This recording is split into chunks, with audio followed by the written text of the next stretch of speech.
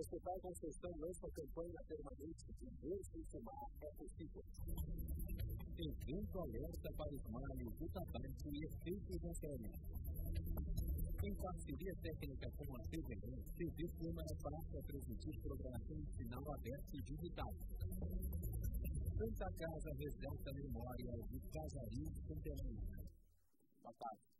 Sob o lema Viver sem fumar é possível, o Hospital Conceição fez hoje pela manhã um evento aberto aos trabalhadores e usuários da instituição para alertar sobre os malefícios do cigarro. A atividade marca a semana de combate ao vício, já que 31 de maio, sexta-feira, será o Dia Mundial Sem Tabaco, instituído pela OMS.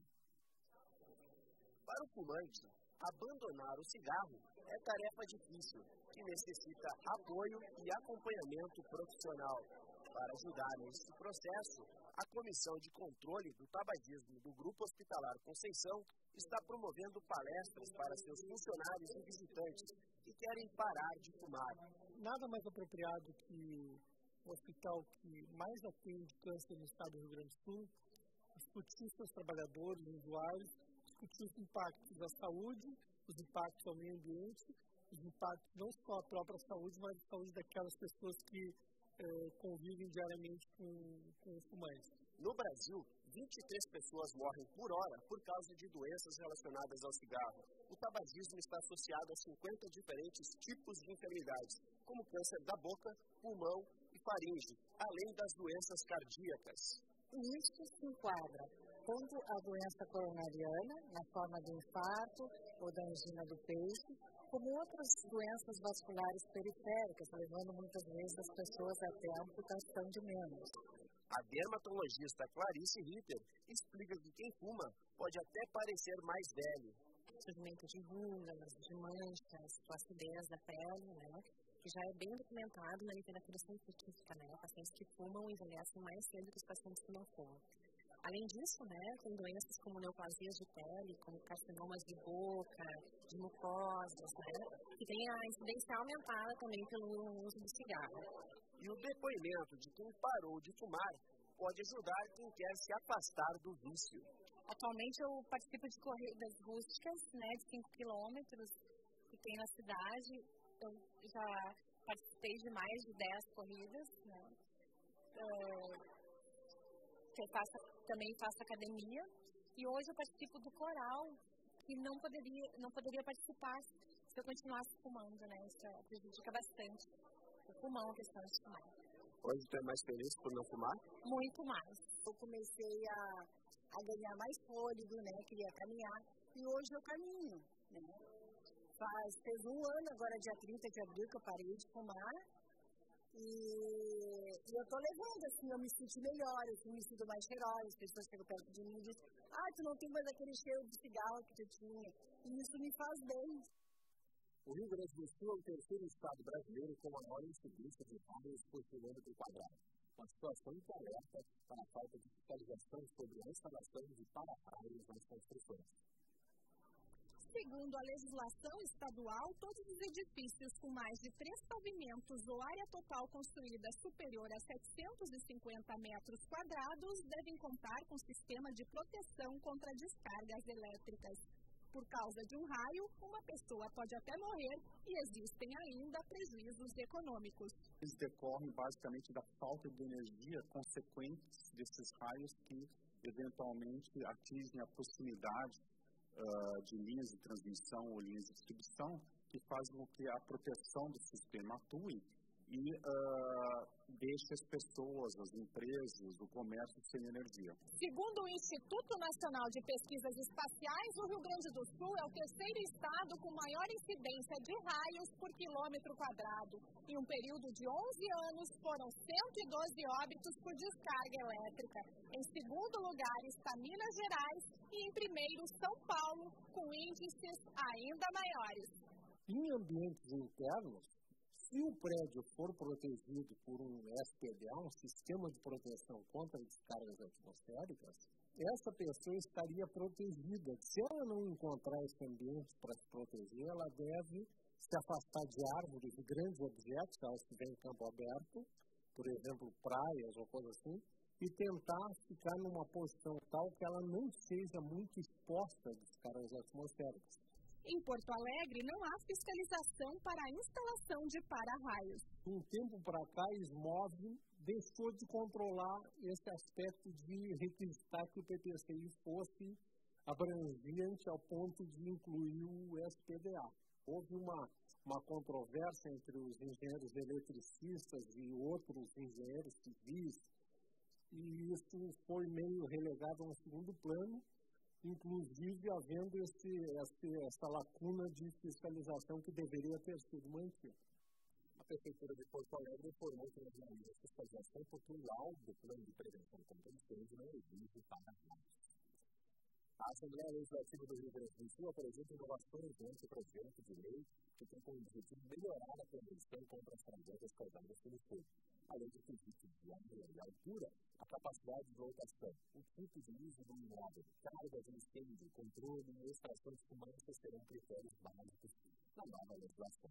Um dos aspectos inovadores é a carga de incêndio definida como o risco de combustão, combustão do prédio considerando os materiais internos como madeiras e isolamentos acústicos. Os parlamentares ainda debatem a proposta antes de encaminhar a redação final. Vou já seguir. Em parceria com a Fundação Piratininho, TV Câmara faz a transmitir programação sinal aberto as universidades gaúchas estão entre as melhores da América Latina. Os dados são do ranking de universidades da QS, da América Latina, que leva em conta critérios como pesquisa, empregabilidade, formandos, recursos de ensino e presença no talento um total de 81 instituições brasileiras que estão entre as 300 melhores da América Latina, 11 estão no Rio Grande do Sul. Em primeiro lugar está a Universidade de São Paulo, no Estado, a URGS conquistou a 14 posição, seguida pela PUC-RS, o FSU e o UFPEL por Iris Registrado em recorde de inscritos no Enem, mais de 7 milhões de estudantes se habilitaram no exame em todo o país. A expectativa era de pouco menos de 6 milhões. A taxa de 35 reais que confirma a inscrição deve ser paga até amanhã. Os testes serão realizados nos dias 26 e 27 de outubro. Fundação Cultural Piratininho e a TV Câmara de Porto Alegre assinaram um acordo de cooperação técnica. O convênio possibilita a transmissão em sinal aberto digital da TV Câmara para aproximadamente 50 municípios gaúchos. A TV Câmara passa a ser transmitida em sinal aberto digital. Esse sinal será distribuído a partir do parque da TVE. Do ponto de vista da radiodifusão pública, isso também é muito importante porque permite à TVE concretizar é, com mais ênfase o seu caráter público, na medida em que dá apoio técnico e viabiliza a transmissão desse sinal da TV aberta, da TV Câmara para todo o Estado. Isso nos orgulha muito e nos fortalece. Nós achamos que, para além das questões eh, ideológicas e governamentais, é preciso fortalecer uma rede pública de radiodifusão. E essa, essa possibilidade que se apresentou à Fundação Piratini, a TVE, significa um passo importante nesse sentido. Para o presidente da Câmara de Vereadores, a transmissão digital favorece a discussão de pautas de interesse público.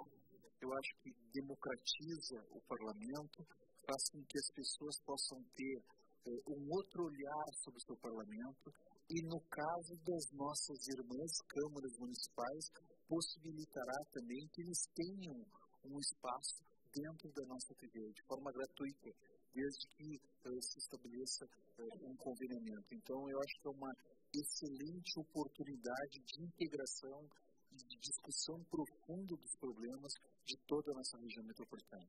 A estimativa é que o sinal da TV Câmara de Porto Alegre esteja disponível para quase metade da população do estado. Serão cerca de 50 municípios beneficiados.